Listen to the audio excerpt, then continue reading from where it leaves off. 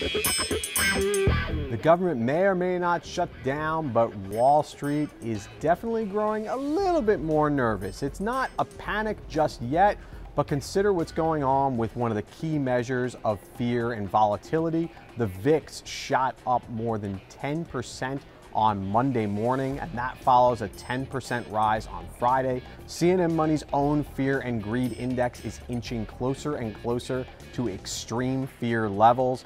What does this all mean? I think it just shows that after the stock market hit record highs just two weeks ago after the Fed decided to keep buying bonds at $85 billion a month, now investors realize that, hey, the economy could be in for a bit of a pullback if the government shuts down and if the debt ceiling isn't raised. So, Washington, a lot of uncertainty right now. Investors growing a little bit more worried about that. But like I said, it's not a full blown panic because we're still pretty close to all time highs. So, what's it going to take to maybe snap Washington into doing something? I hate to say it, maybe we need an even more bloody sell off. Remember that huge, huge drop when TARP was rejected back in 2008? Maybe we need a moment like that so our nation's least and dimmest in Washington can finally wake up and realize that they shouldn't be playing chicken with the economy and stock market.